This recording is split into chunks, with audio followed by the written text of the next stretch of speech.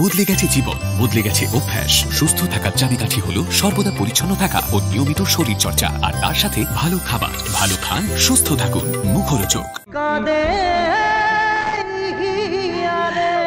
চিরদিনই তুমি যে আমার ছবির এই শেষ দৃশ্যটা মনে পড়ে যেখানে পাগল হয়ে পথে পথে ঘুরছে কৃষ্ণ যে চরিত্রে অভিনয় করেছেন রাহুল।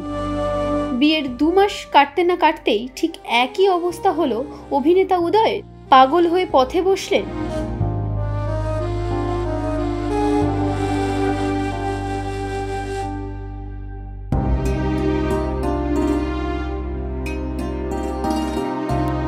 তবে কি এই কম সময়ের মধ্যেই অনামিকার থেকে বড়সড় ধাক্কা খেলেন?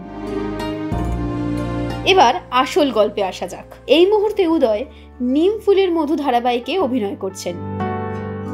গল্পে এখন ছিনতাইকারীদের ধরার জন্য ছদ্মবেশে ঘুরছে চয়ন, অর্থাৎ উদয়। সেই শুটিংয়ের ভিডিও ক্যামেরাবন্দি করেছেন অভিনেতা নীল।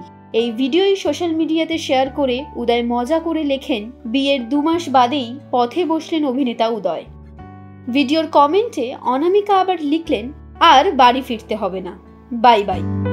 উদয় অনামিকার এই মজার খুনসুটি তাড়িয়ে তাড়িয়ে উপভোগ করলেন তাদের বন্ধু ও নেটিজেনরা।